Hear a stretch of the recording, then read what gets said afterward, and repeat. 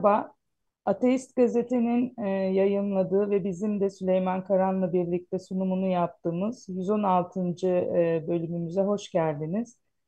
E, bugünkü konularımız arasında e, ilk konumuz e, Dünya Hoşgörü Günü. Şu anda içinde bulunduğumuz dünya konjonktürüne göre herkesin en çok ihtiyacı olan şey olduğunu düşünüyorum. 1995 yılında UNESCO tarafından 16 Kasım'da Dünya Hoşgörü Günü ilan edilmiş. Konuyla ilgili seninle görüşmek isterim Süleyman. Buyur. Şöyle ben kavram olarak hoşgörü kavramının biraz üstenci bir kavram olduğunu düşünenlerdenim. Yani kim biri başkasına hoşgörü gösteriyorsa o biraz daha üstteymiş gibi bir his yaratan bir sözcük hoşgörü. Ve tabii yani uzun yıllardır hoşgörüsüzlük konusunda dünya çok yol kat etti.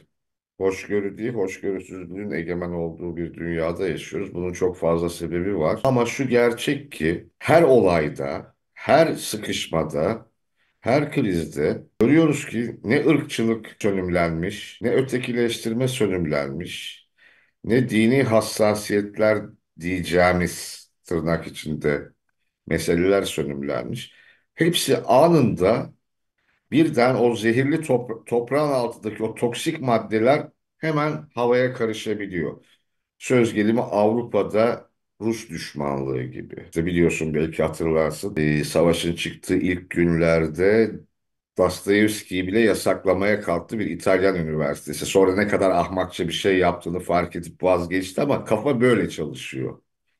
Bunun benzeri yüzlerce şey sayabiliriz. Sadece yani gelişmiş, e, gelişmekte olan ülkelerde değil, gelişmiş dünyada da, batıda da durum bu. Başka taraflarda da işte Amerika'da neden daha çok siyahi ölür polis aramalarında? Ya da artık neden siyahiler bile Hispanikleri ötekileştirmeyi marifet sayabilir veya Korelilerden nefret edebilir gibi gibi sayabiliriz. Tabii ki şey olmalı, Dünya Hoşgörü Günü gibi bir gün olmalı. Umarım ileride bu lafa bile gerek kalmaksın temel insanlıktan yani bizim gibi insanların söz ettiği dinin, ırkın vesairenin artık yani arka cebe kaldırılması gerektiği diyelim. Tümden ortadan kalkmaz da bir dünya olursa herhalde böyle günlere de gerek kalmayacaktır diye düşünüyorum. Zaten biz Allahsızlar olarak biliyorsun her zaman hoşgörüsüzlükle karşılaşan bir grup olduğumuz için biz alışığız da yerlerini bilemeyeceğim.